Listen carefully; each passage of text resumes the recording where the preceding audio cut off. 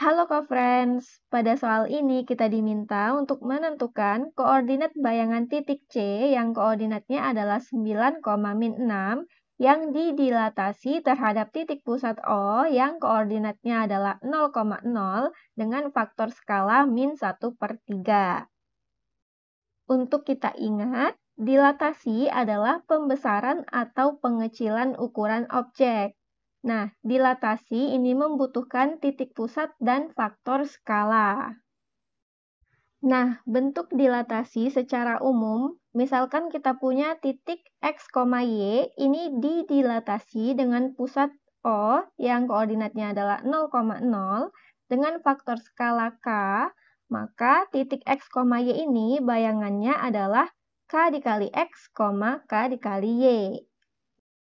Nah, Berarti untuk titik C yang koordinatnya adalah 9, 6, ini kita dilatasikan terhadap titik pusat O, yaitu 0,0, dengan faktor skalanya min 1 per 3.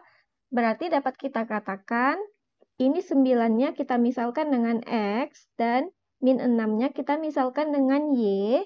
Lalu faktor skalanya yaitu min 3 di sini kita misalkan dengan K.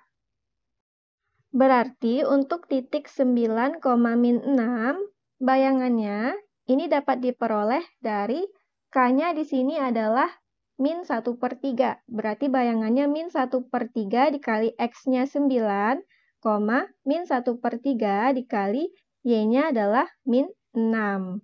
Nah, kita hitung perkaliannya. Berarti untuk min 1 per 3 dikali dengan 9, sama saja 9 kita bagi dengan 3 hasilnya adalah 3. Berarti di sini min 3. Lalu di sini min 1 per 3 dikali min 6, berarti min dikali min hasilnya positif. 6 dikali dengan 1 per 3 berarti sama saja 6 kita bagi dengan 3. Hasilnya adalah 2. Jadi dapat kita katakan koordinat bayangan titik C-nya adalah min 3,2. Yang mana ini sesuai dengan pilihan yang D. Demikian untuk soal ini dan sampai jumpa di soal berikutnya.